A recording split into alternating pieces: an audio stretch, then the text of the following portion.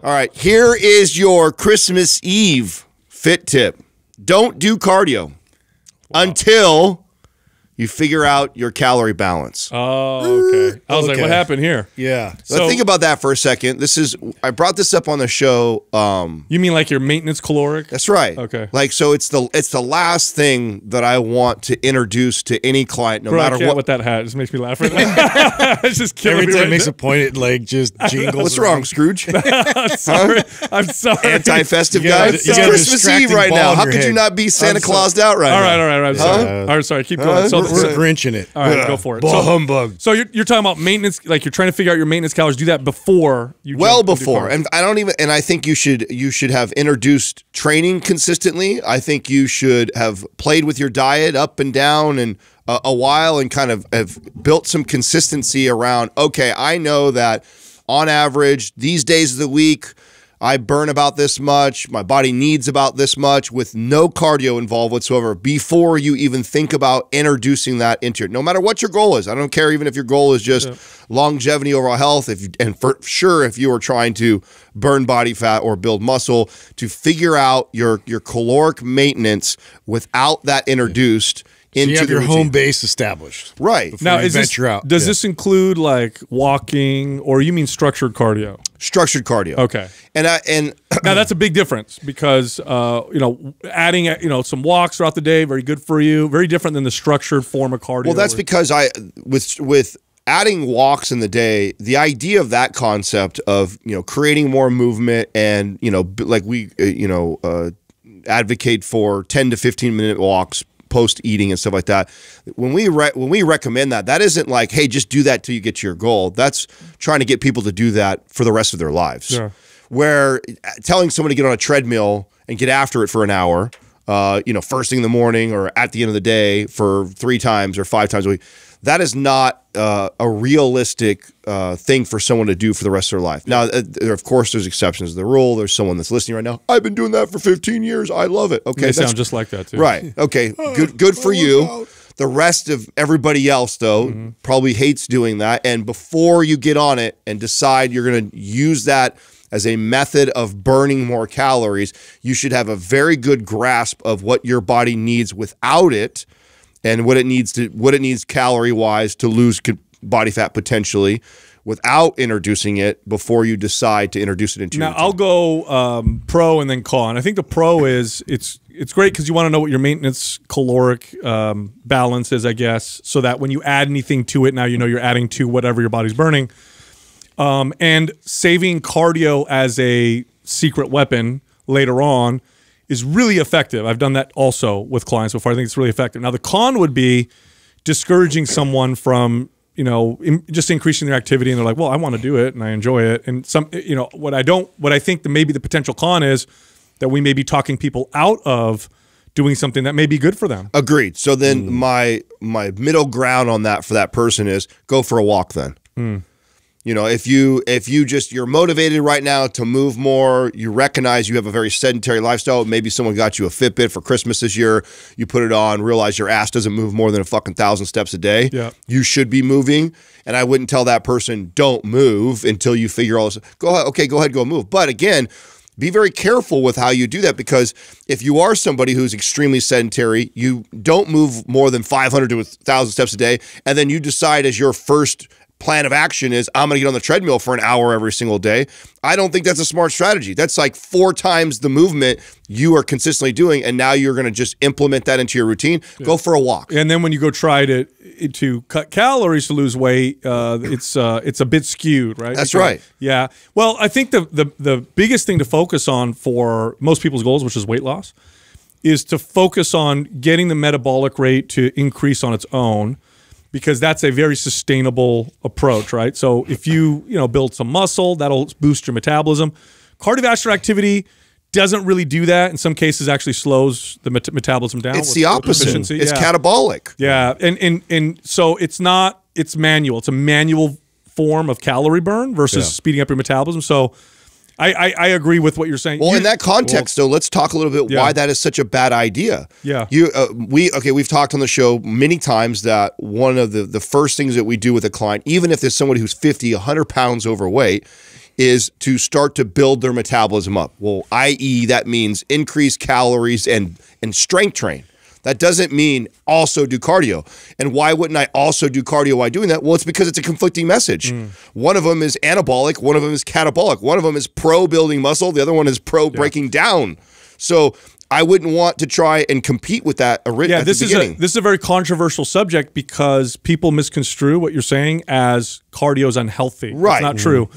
What what uh, I think what we're saying is if your overall strategy is long term success, the number one thing you should probably focus on is let's see if I can get my metabolism to burn more on its own. And what what cardio does when it's done up by itself, especially with calorie restriction, is your body, and the studies support this, your body will pare muscle down to kind of offset that that imbalance. And so you end up with a metabolism that's more efficient, which is slower.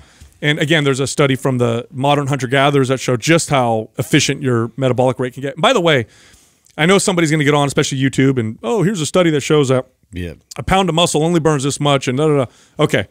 It's it's far more complex than that. There's a range of calories that your body will burn with the current lean body mass that you have. Okay? So even without adding lean body mass or losing lean body mass, your body can become more or less efficient with your current lean body mass. Now, what moves it more or less efficient has to do with the signals you send it, how you feed your body, stress, lots of hormones. For example, for example, you could give someone uh, testosterone who's have low testosterone, and you'll see a, a boost in metabolic rate that happens before the boost in lean body mass tends to happen. You'll see it start to trend in that direction. So, what you want to do is you want to get the metabolism kind of move a little faster because if, a faster metabolism definitely was a liability 10,000 years ago. You didn't want to have a fast metabolism when it was so hard to come by food.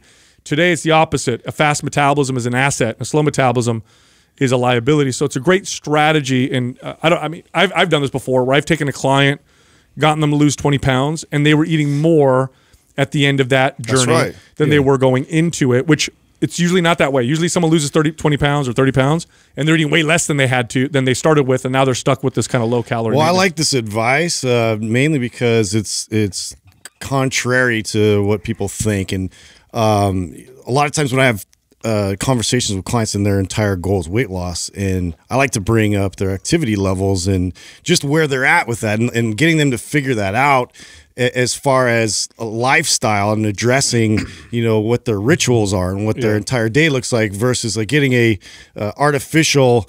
Uh, type of uh, manufactured way of moving uh, you know in terms of that sticking within like your daily routine it's so much it's so much more effective i found with human behavior to find those those moments to just like stand more to to just Yeah. walk a little bit farther like and, and you just find like more of those type of uh, uh, approaches uh, throughout the day. Yep. Uh, it- it's just so much more of a, a- a winning strategy, and so I like to focus more on that because people aren't hearing that. It's definitely a winning strategy. This is, I mean, sometimes this science community is so stupid because we look at everything in this six week, you know, study.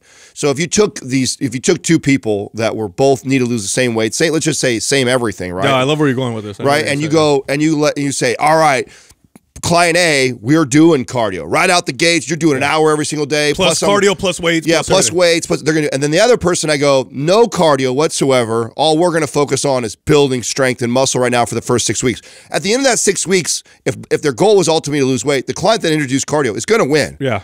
But the problem is life is longer than fucking six weeks.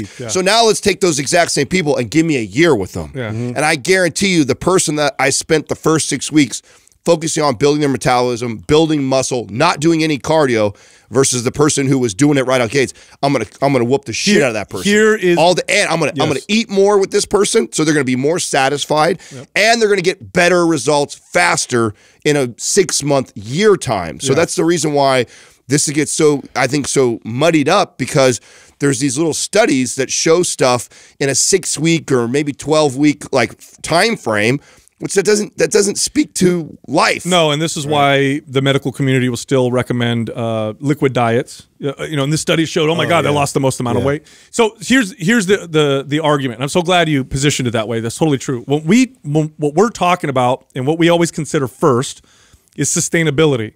We're not talking about just. Uh, in other words, the context of effectiveness. When we talk about what's most effective, sustainability is at the top of the list.